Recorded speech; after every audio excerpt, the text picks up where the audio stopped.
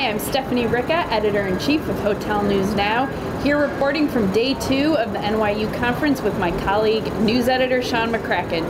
So, Sean, a lot going on today, a lot going on at this conference. I think the best way to characterize it is by citing something that Mit Shah from Noble Investments mentioned this morning.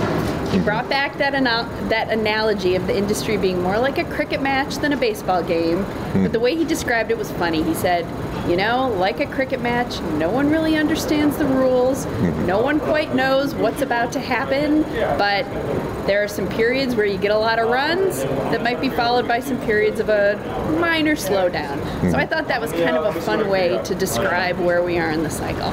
Yeah, and it seems like that kind of anxiety and confusion about what's going on has kind of pushed some people to the sidelines or at least made them a little more reticent about making big moves. Um, I think if there's any theme from from this week at NYU, it's that people are recognizing this is not the time to just sit and wait things out. You've got to accomplish things, even if we, even if things seem a little hazy. If we don't know if it's going bad, it's going to stay good.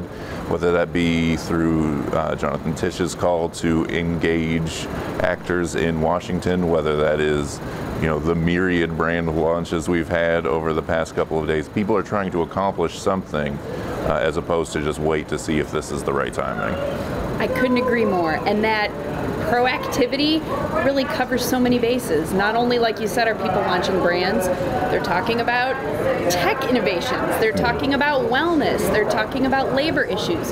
You know, it's really been one of those conferences where the conversation is about so many different topics, not just one controlling theme. Hmm. So it's been interesting and fun, and we're going to sign off today from day two of the NYU Hospitality Conference here in New York City.